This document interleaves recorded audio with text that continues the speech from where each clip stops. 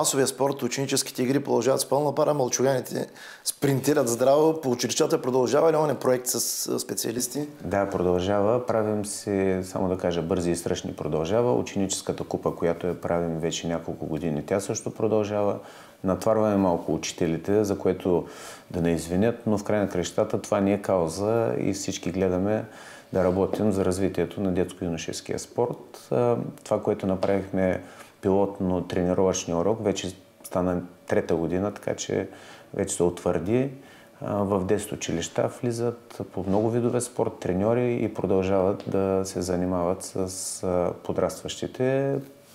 Оттам ги привличат към клубовете и работят много добре. Много по-различно е това като влезе външен човек, въпреки че треньора дали е по-добре подготвен от учителя по физическо не е ясно, но по-различно обостря вниманието, респектиращо и оттам нататък децата се палят и се записват в клубовете. За студентите каза, тук що наградихте съвсем скоро, мисля, че шампионите в студентската имат достатъчно събития студентите, да не ги мислим. Имат и са подкрепени повече от 20 Крос, години. Мисля, че има сега... Община Варна, да, имат университети работят. Ако трябва да бъдем сериозни, ако трябва да бъдем нали, откровенни, не сериозни, откровенни, в а, новия закон за спорта, студентския спорт е засегнат много сериозно.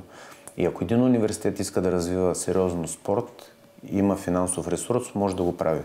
Така че може да участват в държавни първенства. Всеки университет, ако реши, може да има представителен отбор, елитен, да участва в държавни първенства и да получава финансиране. Както от Министерството на спорта, така от Община Варна.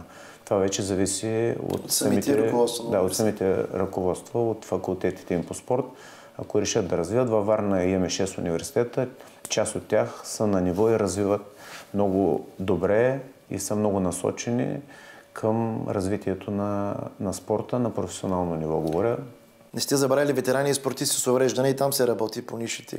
Естествено, ветераните, варнските ветерани са известни Много. в цяла България. Те са най-дейните. Там имаме 12-13 клуба сериозни, които постоянно... Единствената асоциация, доколкото знам. Единствената асоциация е Варненска, да. И получават подкрепата на община Варна. Дейни са ние винаги им помагаме всяка година.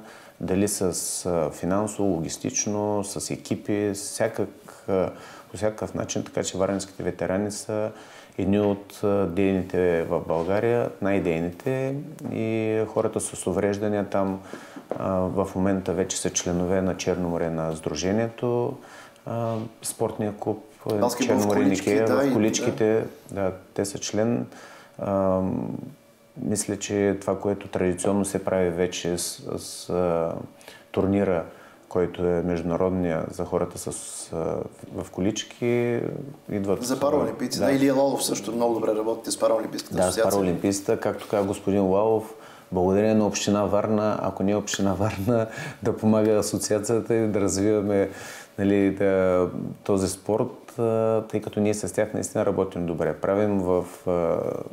И спорт палас, да. В спорт палас правим тенис на маса, с плуване, стрелба, а, с хората в, в колички, баскетболен турнир. Мисля, всичко това е а, той го вижда и благодари постоянно на... Тоест не се чувстват така ощетени.